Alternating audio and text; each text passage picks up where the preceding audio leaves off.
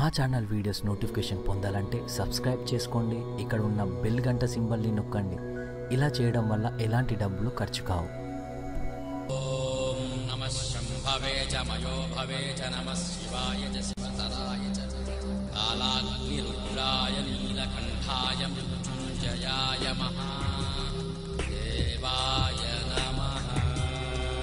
సనాతన ధర్మంలో అసలు గొప్ప ప్రార్థన ఏమిటో తెలుసా?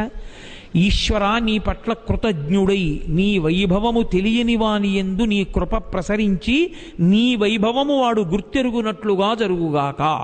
అంతేగాని వాడికి ఏం తెలియదండి అని వాడిని చిన్న చేసి మాట్లాడకూడదు. వాడికి కూడా భగవద్భక్తి కలగాలని ప్రార్థన చెయ్యాలి. అందుకని ఈశ్వరుడికి కృతజ్ఞత ఆవిష్కరణము జరుగుతుంది. అది ఎప్పుడు? విష్ణు స్వరూపంగా చేస్తాం పూజ. అందుకే నిద్ర లేచేటప్పుడు చెప్పవలసిన నామము విష్ణునామం ఒక్కటే. కారణం ఏమి అంటే ఇంద్రియములన్నీ పైకి లేస్తే జాగృత్ అంటారు. జాగృత్తుకు అధిపతి విష్ణు భగవానుడు. జనరేటర్ ఉందండి?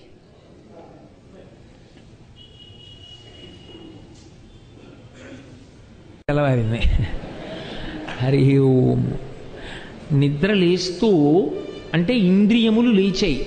ఇంద్రియములు లేచాయి కాబట్టి జాగృతికి అధిపతి శ్రీ మహావిష్ణువు అందుకే నిద్ర తెలివి రాగానే మొదటి మాట నోటి వెంట రావలసినది మూడు మాటలు ఒకటే. శ్రీహరి శ్రీహరి శ్రీహరి తప్ప వేరొక మాటతో నిద్ర లేవకూడదు అన్నారు. నిద్ర లేచి పూజ ప్రారంభం చేస్తాడు. నిద్ర లేచిన తరువాత శాస్త్రంలో ఏమిటంటే వ్యాయామం. యోగాసనం వెయ్యాలి. శరీరం యొక్క బలం కోసం. యోగాసనాలు వేసి లేదా శరీరానికి వ్యాయామం ఇచ్చి పూజకి కూర్చుంటాడు. పూజ అంటే ఏం చేయాలి? దీపం పెట్టాలండి అన్నారు అనుకోండి తంతు. తంతుగా చెయ్యడం కాదు తంతుగా చేస్తే మీకు ఆయనకి అనుబంధం ఏం లేదు. అది చెయ్యమన్నారు అలా చేయకపోతే ఏ ఎందుకైనా మంచిది గిలుతాడేమో ఎక్కడైనా. లేనిపోను గొడవ కారు బ్రేక్ ఊడిపోతుందేమో. లేకపోతే ఏదో కలిసి రావాల్సింది రాకుండా పోతుందేమో. ఎందుకు వచ్చింది? ఓ దీపం పెట్టు అగరత్తు వెలిగిస్తే వచ్చిన నష్టం ఏముంది? ఓ యాభై రూపాయలు అవుతుంది నెలకి.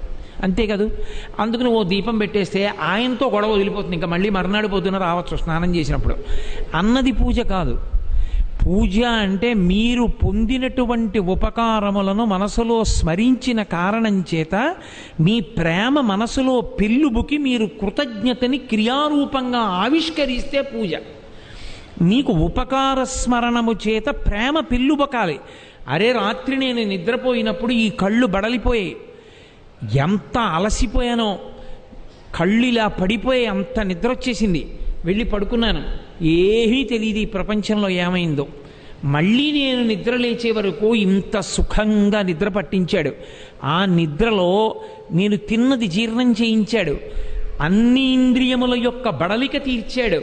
మొదట నేను ఆయనకి నమస్కారం పెట్టద్దు అన్న సంతోషంతో మీరు వెళ్ళి కూర్చున్నది పూజా ప్రారంభం. ఇప్పుడు అందుకే పంచసంఖ్య ఉపచారిణి అని పేరు ఆవిడికి. పూజ అంటే ఐదిటిని ఈశ్వరుడికి అర్పణం చేస్తాం. తప్పకుండా ఐదు చెయ్యాలి. ఆ ఐదు చేయలేదనుకోండి ఇంకా పూజ ఏమిటి సంస్కారం ఏమిటి ఇంటికి? వాడు కృతజ్ఞుడని గుర్తు. ఐదు చేస్తారు. ఏ ఐదు? అంటే ఏదో గంధ పుష్ప ధూప దీప నైవేద్యములను ఐదు చెయ్యాలి పూజలో.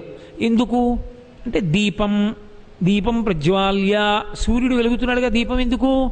అంటే అసలు ఈ కంటికి చూపునిచ్చాడు కాబట్టి కంటి వెలుగులో నువ్వు ఈ ప్రపంచాన్ని చూస్తున్నావు.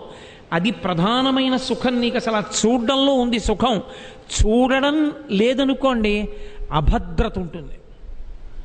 ఎవరు మీ పక్కన ఉన్నారో తెలియదు అడ్డం ఏముందో తెలియదు మీరు ఎటు వెడుతున్నారో తెలియదు ఎక్కడ పడతారో తెలియదు మీ ముందు ఎవరు మిమ్మల్ని చూస్తున్నారో తెలియదు ఎప్పుడూ అభద్రత.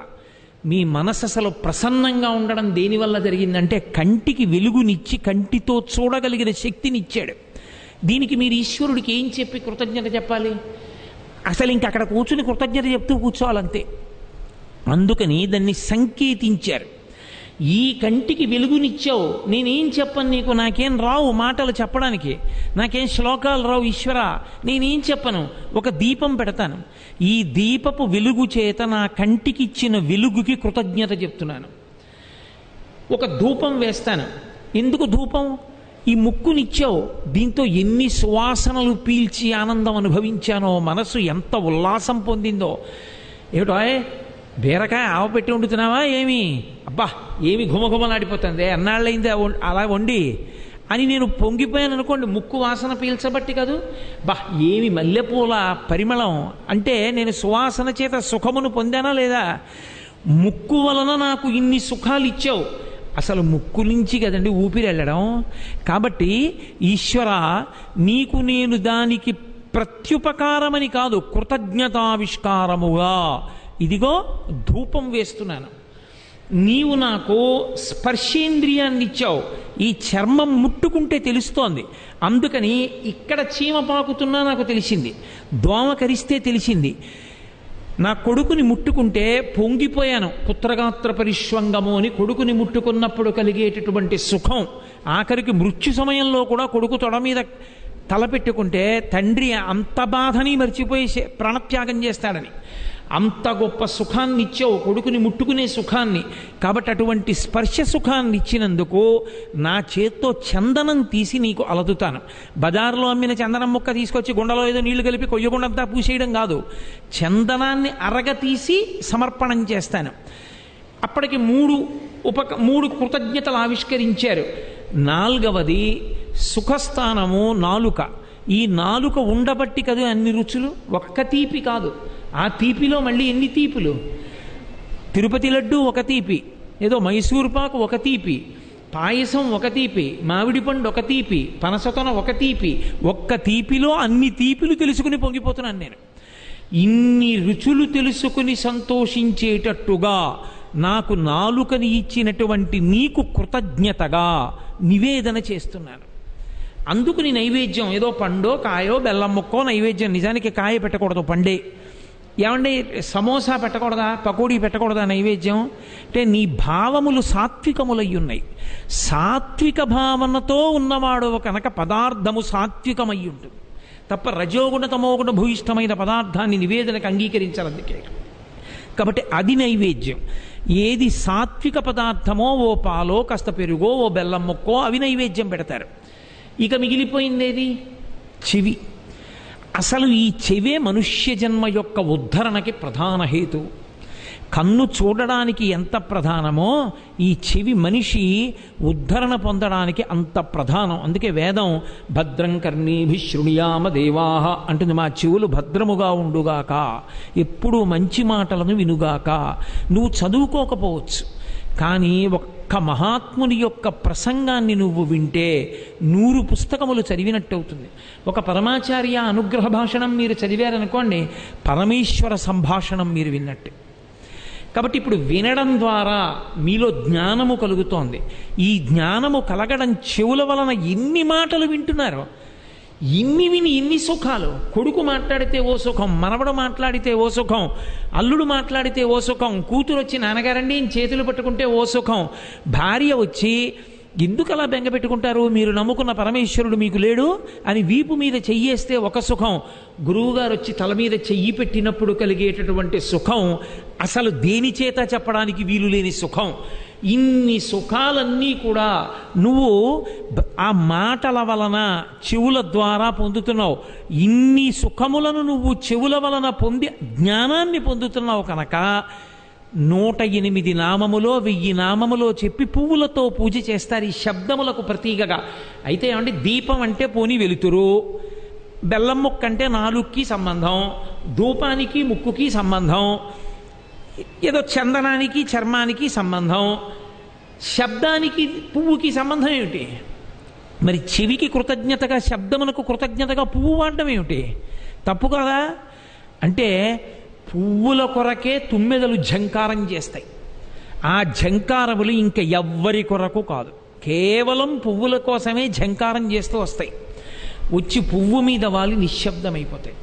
మళ్ళీ ఆ తేనె గ్రహించి మళ్ళీ ఝంకారం చేస్తూ వెళ్ళిపోతాయి. ఎవరి కొరకు ఝంకారములో అవి వారికి చెందినవి కాబట్టి వారివే. కాబట్టి ఆ ఝంకారములన్నీ పువ్వుల కొరకు కాబట్టి ఆ శబ్దములన్నీ పువ్వులవే. కాబట్టి పువ్వులకు శబ్దములు ఉన్నట్లే అన్నారు. ఇప్పుడు నేను మీతో ఒక ఉదాహరణ చెప్పాలంటే నాకు నెలకి ఓ పదివేల రూపాయల ఆదాయం నా కొడుక్కి నెలకి లక్ష రూపాయల ఆదాయం. ఇప్పుడు నేను పేదవాడినా నా ఆదాయం నెలకి పదివేలా కాదు. నేను లక్షాధికారిని నా కొడుకు ఆదాయమే నాకన్నా తక్కువ. ఎందుకో తెలుసా? వాడిది లక్ష నాది లక్ష పదివేలు. నా కొడుకు ఆదాయం నా ఆదాయం కిందే ఉంటుంది శాస్త్రంలో. ఎందుకనంటే తండ్రి యజమాని. తండ్రి యజమాని అయి ఉన్నాడు కాబట్టి ఆ ఇంట సంపాదన ఆయనదే. అధికారం ఆయనదే అయ్యి ఉంటుంది కాబట్టి నేను లక్షా పదివేలు. కా వాడిది లక్ష. నాది పదివేలు కాదు లక్షా పదివేలు నాది. కాబట్టి నేనే ఐశ్వర్యవంతుణ్ణి. తుమ్మెదల జంకారములన్నీ పువ్వులవి. కాబట్టి పువ్వులకి శబ్దాలు ఉన్నాయి కాబట్టి అందుకని ఇన్ని శబ్దములు చెప్పడానికి పువ్వులతో పూజ. సౌకుమార్యమును ఆ లాలిత్యమును సుగంధమును వీటితో కలిపి భావప్రకటనం చెయ్యడానికి ఇన్ని శబ్దములు వినడానికి చెవులి చెవులిచ్చిన పరమేశ్వరుని యొక్క కృతజ్ఞత చెప్పడం పువ్వులతో చేస్తారు. ఇది పూజ. ఇంతేనా పరమేశ్వరుడు సుఖాలిచ్చింది?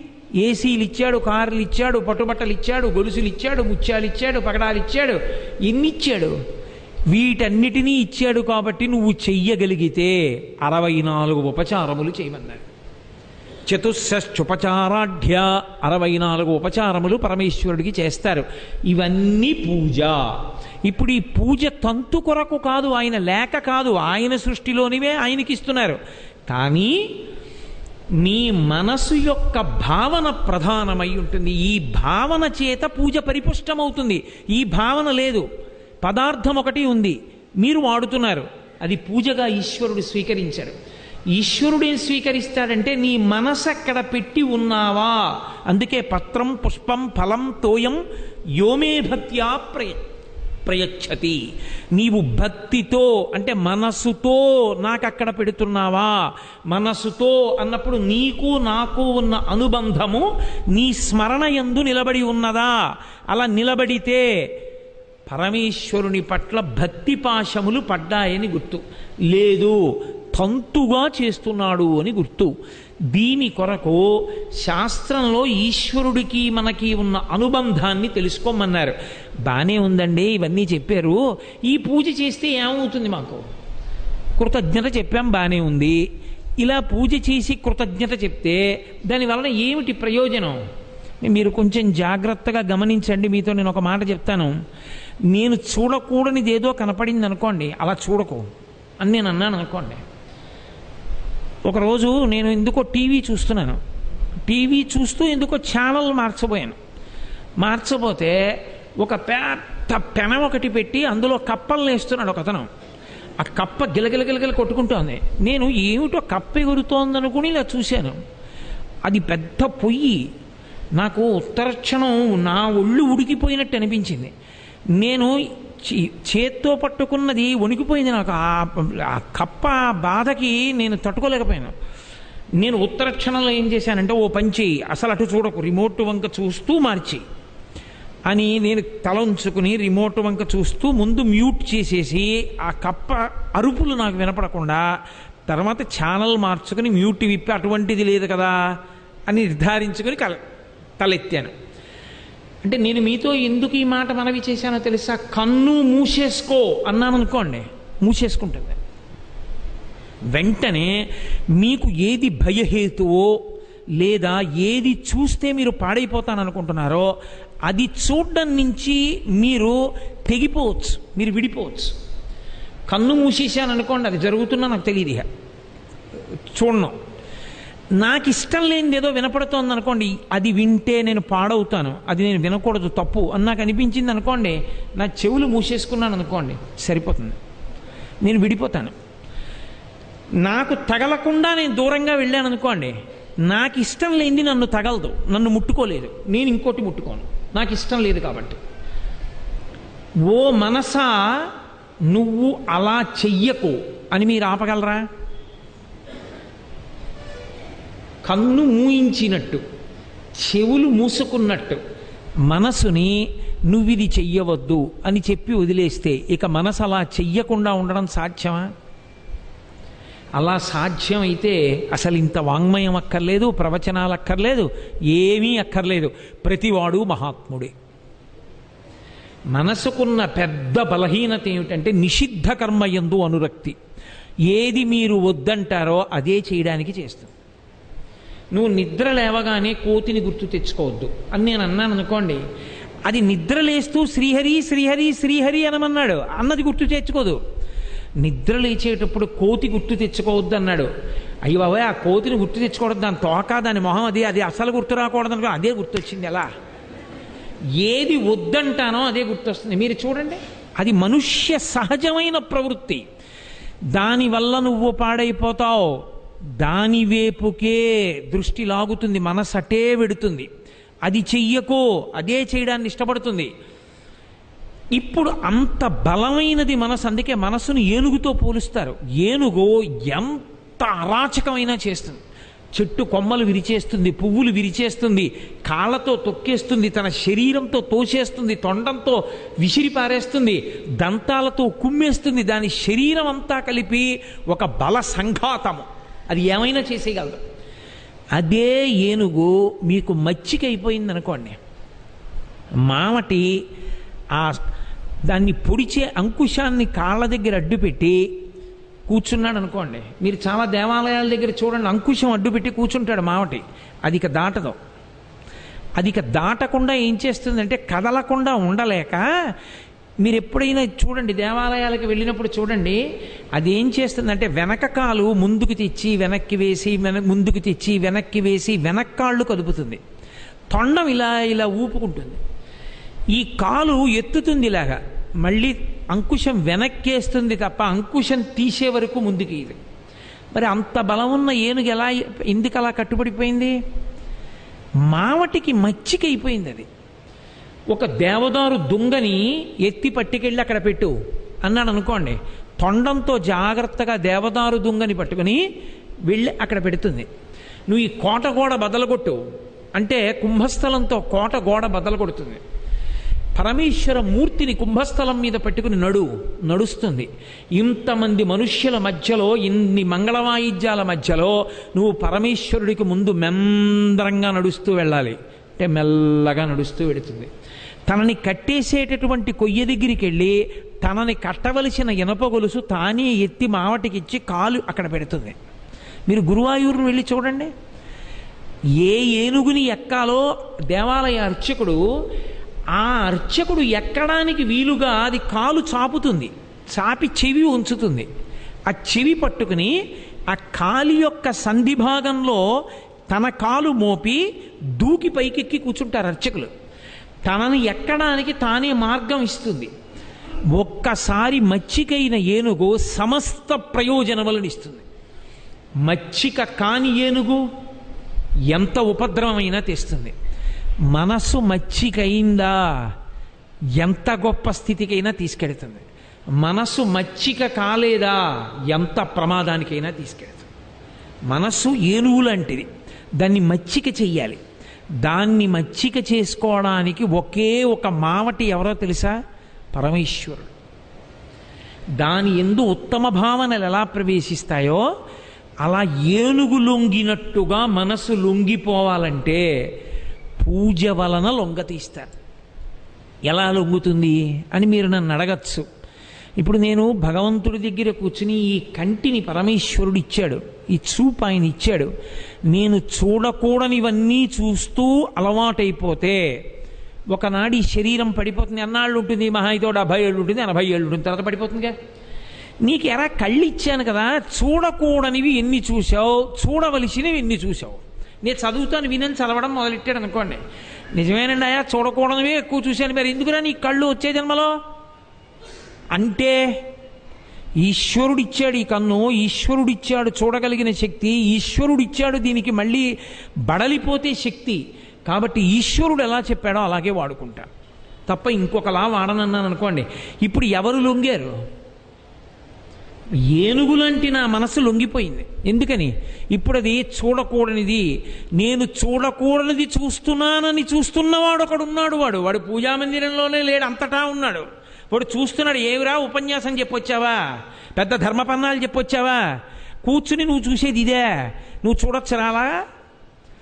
అని వాడు చూడడం వాడు రేపు పొద్దున నేను పూజా మందిరంలోకి వెళ్ళి కూర్చుంటే ఏవరా నేను రాత్రి నువ్వేం చూసావు ఎవరు చూడటం లేదనుకుని తప్పుడు చూపు చూసావా లేదా నువ్వు? అని నన్ను అడిగితే వెంటనే వద్దు బాబోయ్ పరమేశ్వరుడికి జవాబు చెప్పాలి మళ్ళీ ఎందుకు వచ్చిన గొడవ? చూడడం. ఏనుగు మచ్చికైంది ఇప్పుడు మనసు మచ్చికైంది.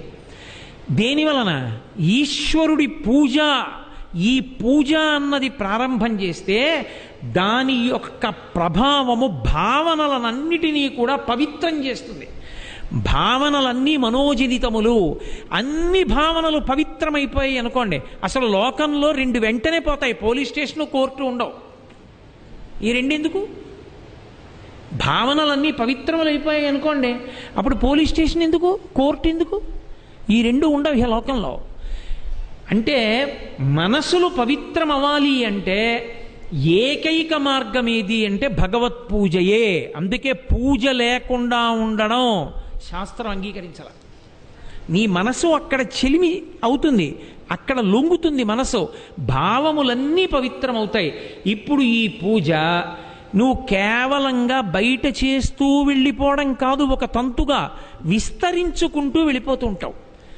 ఇది ప్రారంభాన్ని జ్ఞాపకం చేసుకుంటూ ఉంటావు. నాకు చెవి ఈశ్వరుడు ఇచ్చాడు కదూ అందుకు కదూ అన్ని పూలేశాను పొద్దున్న. మరి ఈ చెవితో నేను వినకూడనివన్నీ వింటుంటే ఈశ్వరుడికి తెలియట్లా వినకూడనివన్నీ వింటున్నామని ఎందుకురా నీ పూజ? కాల్సనా? వినకూడనివన్నీ వింటావా అని కాబట్టి వినను. లొంగుతోంది మనస్సు. ఈ పూజ పై పూజ. ఇది కూడా మనస్సుని మచ్చికి చేసుకోవడానికే. నేను చెప్పిన పంచోపచారాల ప్రధానంగా పూజ సాగుతుంది. కానీ మీరు ఒక్కటి గమనించండి ఇలా మీరు కేవలంగా ఒక గదిలో కూర్చుని ఒక మూర్తిని పెట్టుకుని పూజ చేసుకుంటూ ఉంటే తప్ప ప్రతిరోజు మీరు అసలు మీ జీవితాన్ని పరమేశ్వరుడితో అనుసంధానము చేయలేను. అలా ఎప్పుడూ జ్ఞాపకం తెచ్చుకుంటూనే ఉండాలి అని మీరు అన్నారనుకోండి. అప్పుడు పూజా మందిరంలో చచ్చిపోవడం వినా మరో మార్గం లేకుండా అయిపోతుంది. అంటే ఎప్పుడూ వెనక్కి తీస్తూ ఉండడమే కాదు. పైన పూలతో పూజ చెయ్యగా చెయ్యగా చెయ్యగా పరమేశ్వరుడికి ఎనిమిది పువ్వులతో పూజ లోపల ప్రారంభం కావాలి. ఇప్పుడు వచ్చాను నేను శీర్షిక దగ్గరికి. ఆ ఎనిమిది పూల పూజకే అష్టపుష్ప పూజ అంటారు. ఈ ఎనిమిది పువ్వులలో ఏ ఒక్క పువ్వైనా నీ జీవితంలో బయట చేసే పూజ వల్ల లోపల ఆ పువ్వుతో పూజ చేయడం అలవాటు పడితే దాని వలన వాడు ఏమవుతాడంటే తరించిపోతాడు. అది నిరంతరమైన అర్చన కింద మారిపోతుంది. దానికి బాహ్యంలో ఉన్న పువ్వులు అక్కర్లేదు. ఎదురుగుండా పరమేశ్వరుని మూర్తి అక్కర్లేదు. అది నీ స్వభావంగా మారిపోతుంది. ఈ స్వభావంగా మారడానికే పువ్వులు వాడతారు పూజలో ఎక్కువ. ఎక్కువ వాడేవి పువ్వులే. అగరవత్తులును అవి ఎక్కువ వాడరు. ఇన్ని దీపాలు పెట్టాలని లేదు. పువ్వులే ఎక్కువ తెస్తారు. అసలు తోమాల అని ఇంత మాల వేస్తారు వెంకటేశ్వర